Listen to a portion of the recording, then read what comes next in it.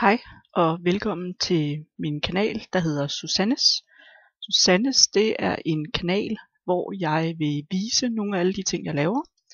Jeg vil øh, give inspiration, og jeg vil lave noget undervisning, eller hvad man kan kalde det, i forhold til dem, der gerne vil lære noget mere omkring det her. Jeg er ikke øh, øh, hvad hedder det, specialist, ekspert. Jeg gør det, fordi jeg synes, det er sjovt, og fordi jeg har lyst. Øh, men allerførst så vil jeg vise lidt af, hvad det kunne være, man kunne lave. Det kunne være noget så simpelt som kort.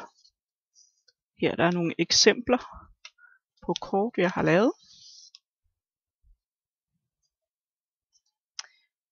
Udover det, så kunne det være øh, forskellige øh, albums, bøger. Det her det er et øh, album, som var tiltænkt, at der skulle sættes noteshæfter ind i. Øh, så det ser sådan her ud. Og så kan man sætte sit noteshæfte ind i de her lommer, der er her. Øh, og løs papir her. Og så lukkes det med magneter. Og den er ret øh, solid, den her. Det kunne også være øh, et, øh, det kunne være kort med chokolade eller kort med flasker. Så laver jeg også sådan noget som sangskjuler. Her er der et eksempel på en sangskjuler. Det er lavet i et Pringles rør. Her der er et andet eksempel på en sangskjuler. Så kunne det være, øh, skal lige herned i gemmeren, så kunne det være øh, sådan nogle øh, holder til øh, post-it blokke. Her er der et eksempel på sådan en. Den kan stå, og så er der en post-it blok nede i, så vi kan få den ud, og en kuglepen. Det kunne også være øh, sådan en lille øh, god bedringsæske, hvor vi har papirlomteklæder i. Det kunne også være øh, flasketags, som du sætter på en flaske.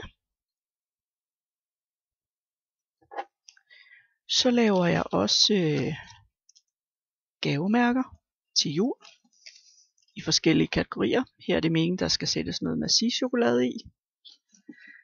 Så kunne det være øh, konfirmationskort eller konfirmationsindbydelser der er her.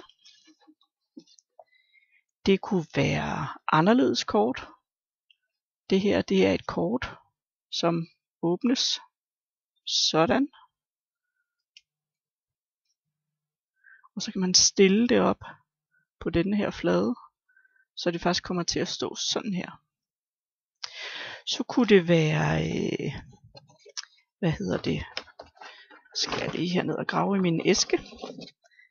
Det kunne være øh, et posekort. Det her på kort, det er lavet af en papirspose. Ikke man kan fornemme det her. Men det er simpelthen lavet om til et kort, så man bruger øh, papirposens lomme til et tag. Øh, laver en lomme her, hvor man kan have et skrivefelt. Øh, det kunne også være noget af det, man kunne øh, blive inspireret på den her kanal, når jeg får lavet nogle videoer.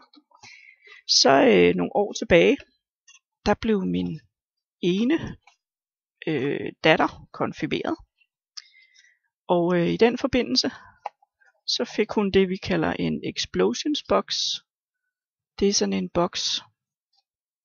Jeg rykker lidt på de her ting. Det er øh, en firkantet boks, som ligesom eksploderer i det, vi tager låget af. Så falder siderne ud. Øh, og i det her tilfælde, så havde jeg bare lavet flapper med billeder og lidt småtekst. Og så havde jeg lavet sådan en lille mini-bibel, eller hvad hedder det, øh, salmebog, øh, med lidt sider og skrevet lidt vers ind i. Og så har jeg faktisk puttet penge ind i det her, som gave til min datter. Øh, det kunne også være noget af det, jeg viser. Øh, jeg laver rigtig mange af de her æsker. Øh, så kunne det være øh, forskellige typer bordkort.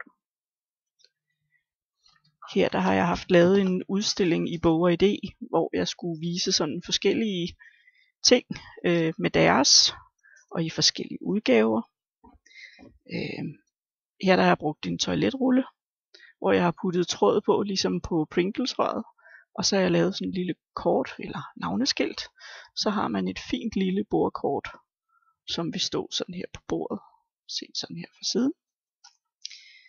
Øhm, hvad har jeg mere? Det er også et lille, hvad hedder det, bordkort. Eller lidt større. Det er kvadratisk. Det her, det er et godt udpluk af, hvad jeg laver. Så kunne det også være sådan noget som sådan en æske her. Den er også ved at være lidt gammel. Sådan fungerer både som kort og æske. Hvor man her kunne lægge gaven til konfirmanden, som kunne være penge eller smykker, eller hvad man nu tænker gavekort. Og selvfølgelig et skrivefelt og et, hvad hedder det, citat, eller øh, jo, det kalder man vel citatfelt. Det kunne også være en mulighed. Noget af det, jeg også laver nu, skaber jeg lige lidt plads her på bordet. Det er øh, forskellige øh, albums eller hæfter, Øh, jeg leger altid med at gå på øh, YouTube og blive inspireret lidt af andre laver. Og øh, når man gør det, så er der hele tiden nye ting, man lærer. Man kan lære at lave æsker i forskellige fasonger. Det kan vi også lege lidt med, hvis der skulle være interesse for det. Jeg fortsætter lige med at rydde mit bord her. Det fylder, så vi skal lige have det ned i min æske og væk med det her. Øhm, og jeg har altid gang i en masse projekter. Det her det er et projekt, som øh, bliver lavet af en anden YouTuber på en YouTube-kanal, der hedder øh, Berit Rosenfeldt, eller By Rosenfeldt. Øh, det er sådan et, øh, hvad kalder man det, filefolder album øh, med forskellige øh, ting, man kan. Nu er det ikke færdigt, så derfor har jeg små lapper på, og ting er ikke helt lignet fast, men der er sådan helt, et helt opdagelsesalbum, kan man kalde det. Men det er noget, jeg ikke er færdig med. Øh, så har jeg også andre projekter, jeg ikke er færdig med. Jeg laver faktisk også, øh, øh, hvad hedder det, mini-albums eller fotobøger. Øh, den her, den er ikke helt færdig. Det er ikke til nogen bestemt, det var fordi jeg havde lyst. Og på et eller andet tidspunkt, så er der en, der kommer og siger, at det er lige det, jeg skal bruge. Og så er den selvfølgelig til salg. Øh, det vil være sådan en album, skal vi se om vi kan få til at være her, sådan nogenlunde, hvor at der vil være forskellige ting, som det her album kan. Man kan åbne forskellige steder, man kan sætte billeder i, og øh, sætte billeder på sådan nogle tags, der er stukket ind her i siden. Og, men sådan alt muligt forskelligt er der i det her album. Og man kan åbne på alle mulige måder. På den her måde, og på denne her måde. Øhm, der er noget her, man kan binde op. Det her, det er noget, man kalder et waterfall. Det kan man også lave. Det er forholdsvis nemt, når man lige har lært teknikken øh, mere, der åbnes. Øh, binde op og en masse sider, man kan bladre i. Her der er noget. Så kan man lave tagspot eller fotomodder. Øh, her der er sådan noget meget simpelt til at sætte billeder i. Igen noget, man kan åbne. Den er ikke helt færdig og mangler lidt øh, pyntedelen. Og den har jeg så også en pigeudgave, hvor jeg slet ikke har nået lige så langt. Men den vil se nogenlunde sådan her ud. Og sådan lidt det samme princip har jeg brugt indvendigt som i den første. Nogle enkelte ting, der bliver lavet lidt anderledes, fordi det skal jo ikke altid være ens. Øh, papirerne vil heller aldrig være ens, man bruger, så derfor så vil det jo hele tiden være noget, der sådan forandres undervejs, men nogle af principperne genbruger jeg, som I kan se, så er jeg ikke færdig. Så mangler der nogle sider. Øh, men det allerførste, som jeg gerne vil lave sammen med jer, det er noget, der hedder et kuvertalbum. Og det ser sådan her ud. Øh, der kommer til at være en video helt specifikt med det. Og et kuvertalbum, det er faktisk primært lavet af kuverter og mønsterkarton. Og det her, det er, kan man sige, grundskabelonen er lavet færdig. Jeg har ikke pyntet det, jeg har ikke puttet tag i alle de steder, det skal være. Men det her, det er simpelthen øh, et kuvertalbum, som vil være det første, jeg laver.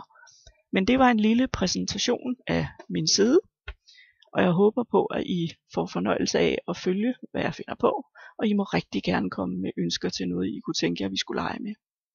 Hej hej!